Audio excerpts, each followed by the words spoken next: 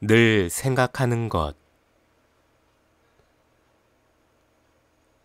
미국 하와이대 심리학과 일레인 해필드 교수가 4살에서 6살 아이들에게 나는 늘 무엇 무엇을 생각한다 라는 질문을 던졌다.